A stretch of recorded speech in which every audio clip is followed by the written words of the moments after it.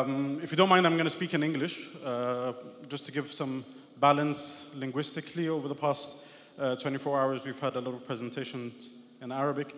Um, before I start, though, uh, if we could just take a few seconds um, and prayer for those in Syria. If ever there was a reason to understand why we're here today, what's been going on, particularly in Halab over the past uh, 48 hours, is a stark reminder of that. And strength comes in unity, but also in prayer. So uh, if we can uh, uh, uh, just spare a few seconds to, to think of those suffering there.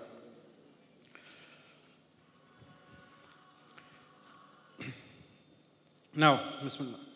Um, over the past uh, 10 years, I've been working for Al Jazeera English, and as Muhammad was mentioning, um, most of my work over the past five years uh, has been reporting on uh, the uh, uprisings, as I would like to refer to them, or the revolutions, or the Arab Spring that have been taking place. And that has given me a unique insight into a lot of the unfolding events. So uh, I covered the uh, revolution or the uprising in Egypt, then Libya, Yemen. I've gone in and out of uh, uh Syria several times, and also the, the, the, the political follow-up in Tunisia. And what that allowed for me to see as a reporter is that I speak to uh, the average Arab citizen, so from the taxi drivers to the baker to the unemployed 30 year old to uh, the imam to the police officers and so forth, but also to the politicians and the political uh, leaders, both in terms of old establishment, old regime, or the new old regime in terms of counter revolutionaries, as well as the opposition figures, other movements, the Muslim Brotherhood, 6th of April, and others uh, across the region. And there is a common thread that I've come to realize across all of these things one unifying fact, and it is essentially the stumbling block that we face in this region. And it is uh, essentially the lack of vision we have in terms of trying to create something new. We live in a time that has been dubbed as the post colonial era, post imperialist era. The problem that we have never managed to accept and realize is that there has never been an end to colonialism and there hasn't been an end to imperialism. What has happened since Sykes-Picot was that rather than having boots on the ground uh, controlling us and colony, uh, essentially being registered as colonies under the British Empire or even the French and so forth, what the colonial powers managed to do was reinvent this colonialism and reinvent this imperialism giving us this false sense that we had some sort of liberation, be it under pan Arabism or be it under even the ideals of uh, aspiring towards an Islamist reality or whatever it was. But there was no real liberation. And in order to try and uh, demonstrate this, I'm actually going to ask for four volunteers because I want to show you what I mean. So I need four men, please, to come up with their chairs. Bring your chair with you, please. We have one. I need three more. Okay, two. Yalla. Three. And the fourth. Okay. So these chairs essentially are the seats of power in the Arab world. And we're going to put them like this, if you don't mind. And we're going to put another one here And Bismillah. I may, if you don't mind, sorry to do this, but I need, just because the, we're going to do it, this is a bit physical. can I get somebody a little bigger? سامحني لو لو ممكن متاسف can I get somebody just because unless you're gonna uh, can I get a fourth person يلا بسم الله you don't need to bring your chair because uh, أخونا he brought his already Mashi. You can take a seat. Uh, you would like, no, no, turn around. Yes. As Arab nations, you always have your backs to each other. So this is what happens. And you'll sit down, inshallah. And you are like this. No, turn around. Okay. And I will, yes. Okay. Now, so we have these states that were formed after uh, uh, Sykes-Picot and post World War I and World War II that were set up essentially to uh, give us these false identity of nations, and we had these seats of power. This is unrehearsed, by the way, so inshallah it goes well. Now, the seats of power were there for the different regimes, and we had the people. The people, obviously, asaf, I need you to come a bit further forward. As Arabs and people in the Sharq fell asleep, and they remained asleep for a very long time. If you can just get up for a second. بس تعال شوية يلا بسم الله hopefully this is going to work it looks like it's not going to work but it will work لا لا your, knee, your feet needs to be on the ground yeah actually this is no way going to work with these chairs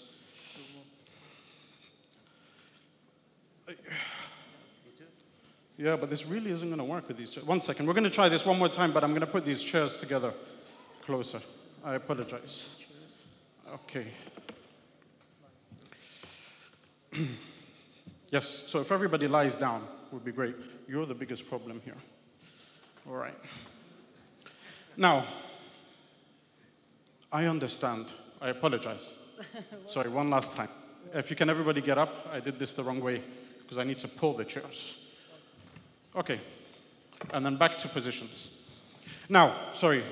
So same, same, same as you were, seated exactly as you were, and this is going to work now. Okay. Alhamdulillah. Okay. So, yes, you can sleep. And they, and, they, and they stayed like this for years until, alhamdulillah, there was a time in 2011 where people decided that they wanted to rise up. We all knew what we were against. We were against these seats of power.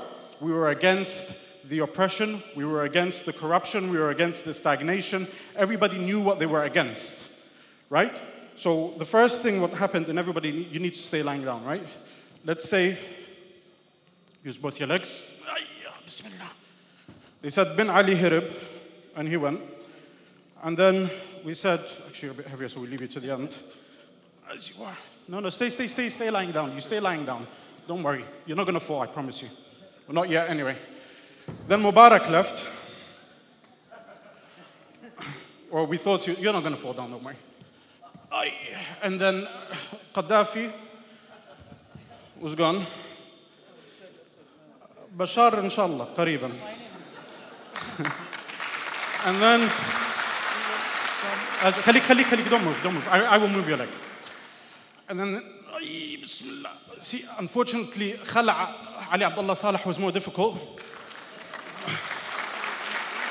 but the problem you're going to stay as you are now you want to rise up right so the Arab people came to rise no no no you rise but see this is the problem the problem was what we demonstrated here, the problem was there was no vision.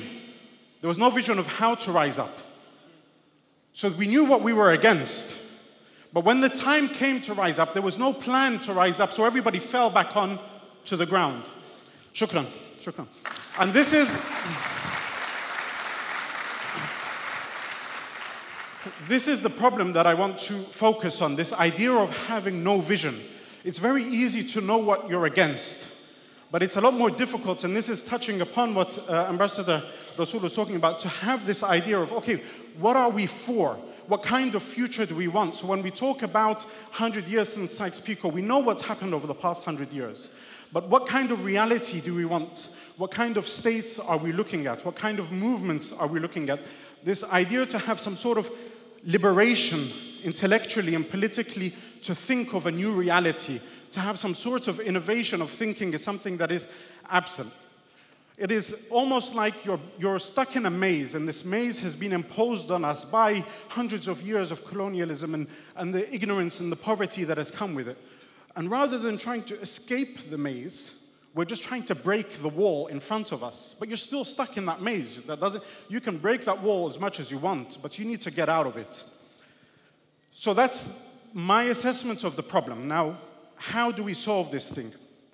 Alhamdulillah, we are actually in a position of strength that a lot of it we don't realize and we don't tap in. We haven't tapped into these problems yet, uh, to, to, these, to these uh, positives that we have. Now, there is another problem I just want to tap in, and this, as an Egyptian, is something that really strikes home for me, is this idea that we constantly uh, pin our hopes or our aspirations on things that have happened before us. We live in the past in the most twisted way possible. So as Egyptian, 7000 سنة حضارة. طب مبروك. يعني the pharaohs have nothing to do with you.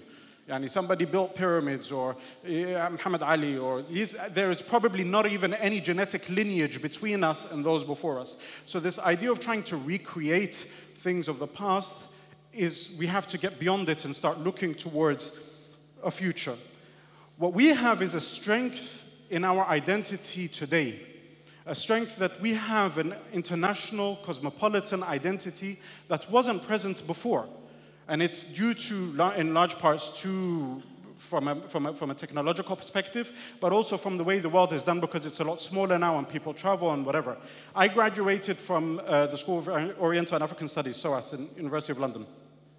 This university or this college was actually founded uh, to train those who would work either as spies or people who would work in the British Empire uh, to be delegated in these uh, different areas. So at the time, in order to ensure that colonialism was going to maintain itself, they needed specialized people in these things. We actually, as this generation of Arabs and Turks and Kurds and even Iranians, have this graduation without even going to these places. We are uh, acquainted with these cultures and we're acquainted with these backgrounds and so forth. That should help us. And this is why gatherings like these are so important because it is from within them that we can start thinking about new ways of creating this new uh, uh, uh era or this new uh, phase for us in the region.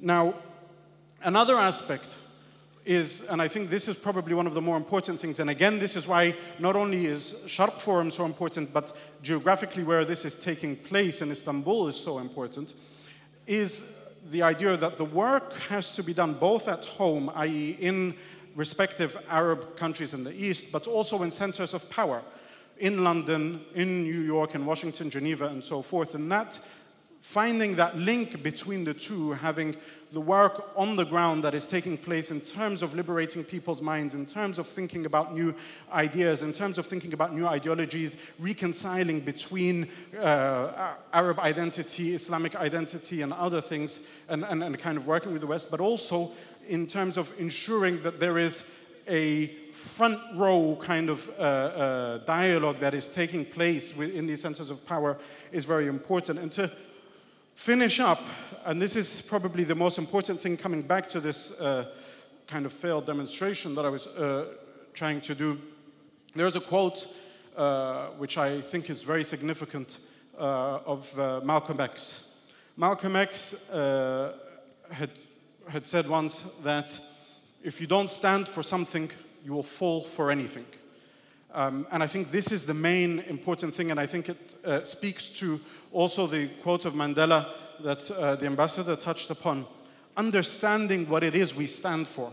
And it's not enough just to say, Wallahi, I stand for whatever ideology or political party or group that one may aspire to. But really, what do you stand for in the sense that what do you want your legacy to be? And sometimes we associate legacies with great people icons. But the, that, that's probably the worst thing. In the end of the day, the legacy of you, you are somebody who yani, not only have people invested in you, you yourself are investing all your energy and all your uh, uh, uh, work time and your money and your health and so forth. You don't want that to go to waste.